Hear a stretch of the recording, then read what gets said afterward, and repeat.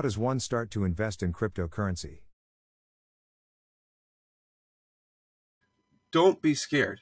Don't feel that you have to learn and understand everything because I'm sorry, by the time that you do, it, would have changed uh, 10 or 20 different times. Um, I, that happens to me. Again, I've been in this space so long. This space changes so fast.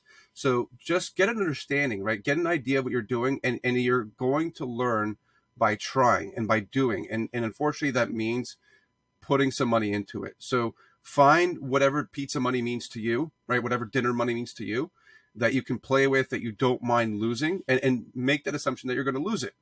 And start playing around and start playing with those things. Stick to the stable coins. Look for uh, stable coin opportunities where you can interest on stable coins through centralized exchanges. There's plenty of opportunities there.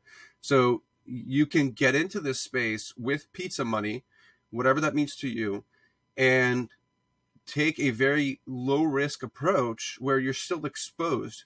You're still in this space and you're learning. And as you're going along, you're like, oh, maybe I you know I've earned some interest there. I've I've I've kind of understand something, and maybe I'll try one thing. I'll dip my toes into Bitcoin. I'll dip my toes into Ethereum. Oh, let me dip my toes into something else that, that's on Ethereum. What does that mean? So, baby steps are important here. Um, just take those baby steps slowly. Again, pizza money is important, right? Whatever that means to you.